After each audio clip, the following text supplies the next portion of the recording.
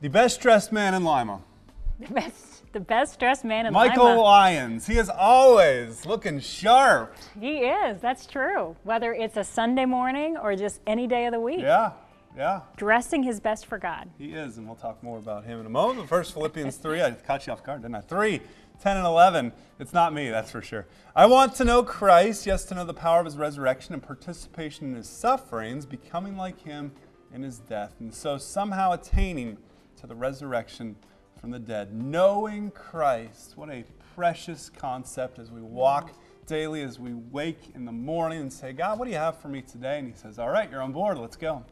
Well, as much as I believe Michael Lyons thinks that dressing well is important, I bet you uh, he would say that having that solid foundation in Yes. Christ is even more important. And here we are, Black History Month, and we have chosen to honor current African American individuals who are making incredibly positive historical things right here in Lima. And Michael and Kim Lyons of In Faith Ministries are definitely doing just that. They certainly are. So encouraging to see their ministry continuing to grow as they reach out to the community here in Lima. Uh, just a man after God's own heart who really wants to see Him glorified throughout the city. I get the chance to pray with him Kim, most Thursdays Kim is the the same month. way, just phenomenal, incredible. Yeah. What a great, powerful couple for Jesus.